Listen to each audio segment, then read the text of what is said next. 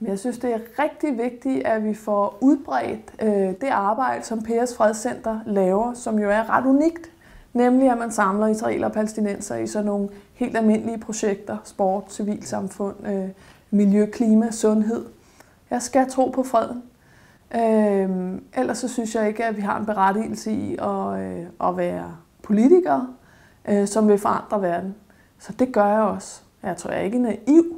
Jeg tror ikke, at fred lige kommer øh, rundt om hjørnet. Jeg tror, at med den konflikt, vi har på det område mellem Israel og Palæstina, øh, altså så mange år, så blodig, øh, så voldsom som den er, så løser vi den ikke øh, ved øh, en fredskonference eller et enkelt dialogprojekt, men vi løser den ved øh, mange, mange, mange af de projekter ved hele tiden at skubbe på, øh, og ved hele tiden at tro, og ikke bare tro, men også arbejde for det, og, og mene det, vi gør, og blive ved med at, øh, at trykke på for det, også selvom vi bliver slået tilbage. Det skal vi tro på, for det skal lykkes. Peres Fredscenter har en gruppe i Danmark, der hedder Peres Fredscenters Venner.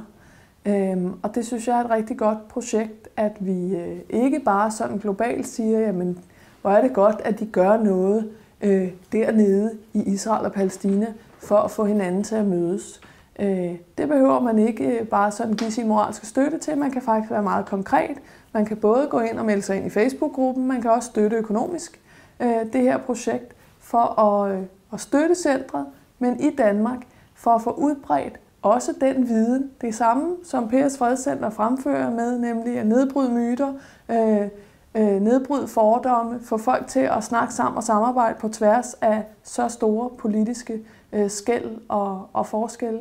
Jamen det samme gælder jo i Danmark, at øh, vi skal se, at det kan faktisk godt lade sig gøre, og, og holde fast i håbet, og holde fast i lyset, øh, og det, at mennesker kan mødes om sjove dagligdags ting, også selvom at der er en meget stor konflikt i gang mellem netop deres lande. Det skal vi også have danskere til at, øh, at bidrage til.